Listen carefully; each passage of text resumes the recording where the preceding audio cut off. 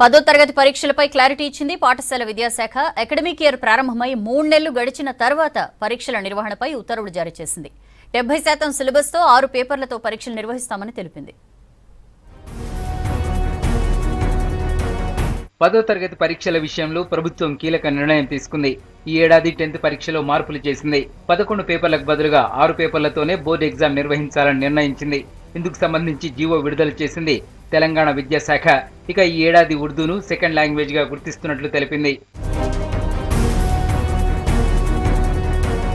కరోనాతో విద్యా సంవత్సరం ఆలస్యంగా ప్రారంభం కావడంతో ఈసారి డెబ్బై శాతం సిలబస్ తోనే పరీక్షలు నిర్వహించనున్నట్లు తెలిపింది పాఠశాల విద్యాశాఖ. ప్రస్తుతం పరీక్ష సమయం రెండు గంటల నలభై ఐదు నిమిషాలు కాగా దీన్ని మూడు గంటల పదిహేను నిమిషాలకు పెంచింది. ప్రశ్నల్లో మరిన్ని ఛాయిస్లు ఇవ్వాలని విద్యాశాఖ నిర్ణయించింది. బోర్డు పరీక్షకు ఎనభై మార్కులు ఎఫ్ఏ పరీక్షలకు ఇరవై మార్కులు కేటాయించనుంది. సైన్స్ పరీక్షలు భౌతిక జీవశాస్త్రాలకు వేరువేరు సమాధాన పత్రాలు ఇవ్వనున్నట్లు తెలిపింది స్కూల్ ఎడ్యుకేషన్. జూలై ఒకటి నుంచి అకాడమిక్ ఇయర్ ప్రారంభమైనట్లు తెలిపింది స్కూల్ ఎడ్యుకేషన్.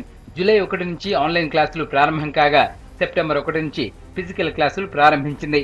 ఫిజికల్ క్లాసులు ప్రారంభమై నాలుగు నెలలు కావస్తున్నా పరీక్షల నిర్వహణపై ఎలాంటి ప్రకటన చేయకపోవడంతో విమర్శలు వ్యక్తమయ్యాయి. తల్లిదండ్రులు ఉపాధ్యాయ సంఘాల నేతలు విద్యాశాఖ మంత్రితో పాటు అధికారులను కలిసి పరీక్షలపై స్పష్టమైన ప్రకటన ఇవ్వాలని కోరారు.